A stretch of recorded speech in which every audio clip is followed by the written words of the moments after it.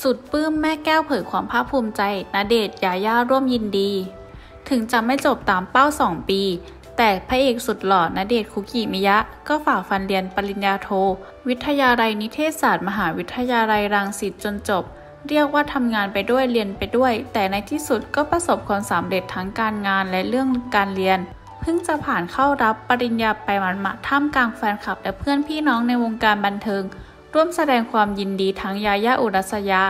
ก็ได้ร่วมแสดงความยินดี พร้อมถ่ายภาพครอบครัวสุดอบอุ่น ขณะที่ทางด้านณเดชได้โพสต์ภาพร่วมเฟรมยาย่าทางด้านแม่แก้ว ก็ได้โพสต์ภาพนี้เช่นกัน เรียกได้ว่าเป็นภาพที่แฟนคลับฮือฮากระหน่ำเข้ามาชมความน่ารักของพวกเขาจำนวนมากโดยทางด้านแม่แก้วก็ได้โพสต์ความในใจถึงความภาคภูมิใจครั้งนี้ ในตัวลูกชายว่า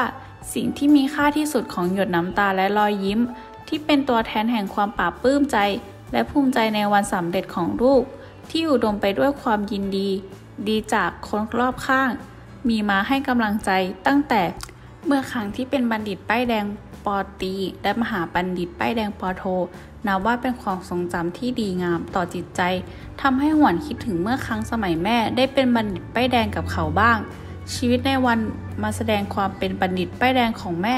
ก็ยังอยู่ในความทรงจำไม่เคยลืม เพราะมีคุณค่าที่สุดของชีวิต ที่สอนให้แม่รู้จัก ความฝันการต่อสู้และพยายามตั้งตัวเองให้ตรง ไม่หกล้มกับการค่อยๆไต่ไปทีละก้าว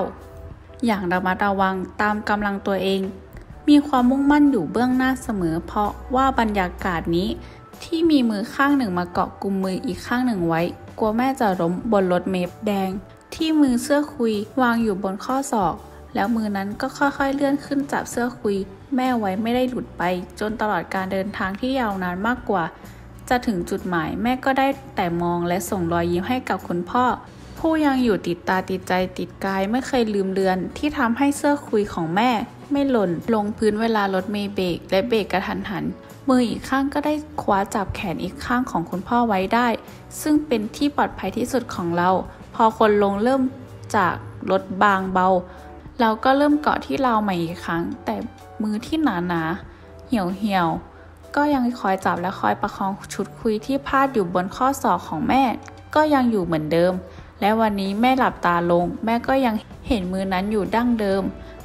แต่ปาดสจาก ลมหายใจไปนานแล้ว และบรรยากาศนี้ก็ยังเป็นที่อยู่ของความมุ่งมั่นตั้งใจให้ก้าวต่อไปพร้อมกับความพยายามอดทนอดกั้น อดออมให้ดียิ่งยิ่งขึ้นไป ตามกำลังของตัวเราเอง แต่พอมาณวันนี้ก็ได้รับการตอบแทนชดเชยให้กับบรรยากาศนั้น อย่างหาสิ่งอื่นมาเทียบเทียมคำว่าลูกคือมงคลชีวิตของแม่กับป้า และทุกคนในครอบครัว